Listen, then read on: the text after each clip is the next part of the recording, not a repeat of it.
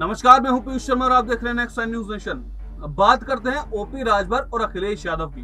तो देखिए ओपी राजभर और अखिलेश यादव की जो तकरार है, वो अब देखिए कि काफ़ी पहले से चली आ रही है। यहाँ पे जब से अखिलेश यादव ने लोकसभा उपचुनाव, लोकसभा के उपचुनाव दोनों सीटों का हारा है, तब से ओपी राजभर लगातार हमलावर हो रहे थे। उसके बाद अखिलेश यादव पत्र लिखकर उनको पार्टी से बाहर कर देते यानी कि उनका जो गठबंधन था, सुबसपा का और सपा का तो ये जो गठबंधन तोड़ देते हैं और ओपी राजभर इस तलाक को मंजूर कर लेते हैं। अब देखिए कि ओपी राजभर लगातार जो हमलावर होते थे, वो मात्र तंज कसते थे।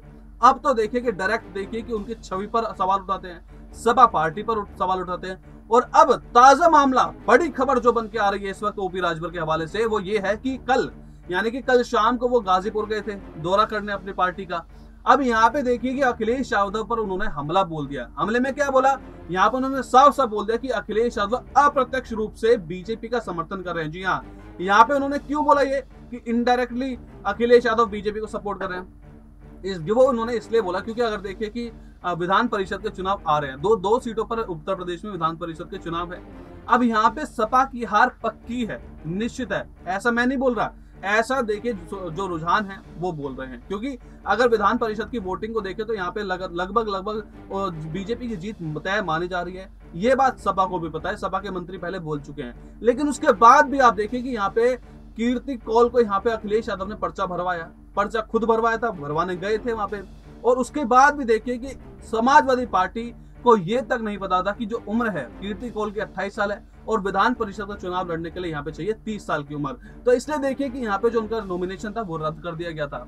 तो इसलिए बड़ा हमलावर हुआ था यहाँ पे अखिलेश यादव के जो सुभाषपा के जो लीडर हैं, यहाँ पे काफ़ी हमलावर हुए थे उनपे। और साफ़ साफ़ बोल दिया था कि डायरेक्ट इनडायरेक्टली वे में कि यहाँ पे जो अप्रत्यक्ष रूप से अखिलेश यादव बीजेपी को जिताने की कोशिश कर रहे हैं। क्यों जिताने की कोशिश कर रहे हैं? क्योंकि देखिए एमएलसी चुनाव में पहले से हार उनकी तय है। और अब देखिए नॉमिनेशन जो फ़ाइल करने के थे, वो नॉमिनेशन भी उनका रिजेक्ट हो गया तो अब देखिए कि डायरेक्टली वो निर्विरोध जी सकते हैं, वहाँ पे एक जो विधान परिषद का चुनाव है।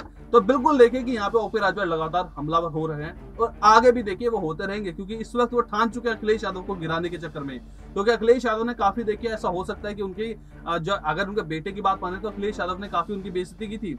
अगर वाराणसी की बात करें तो अखिलेश यादव के कार्यकर्ताओं ने वाराणसी में भी वाराणसी में अखिलेश यादव को शेर बता दिया था ओम प्रकाश राजभर को चूहा बता दिया था और ओपी राजभर को ओम प्रकाश राजभर को यहाँ पे गीदड़ बता दिया गया। तो इसमें भी काफ़ी नाराज़ थे ओपी राजभर। अब लगातार हमलावर हो रहे हैं। बहरहाल, आप हमें कमेंट बॉक्स में बताइए कि क्या समाजवादी पार्टी इनडायरेक्टली बीजेपी को सपोर्ट सच में कर रही है?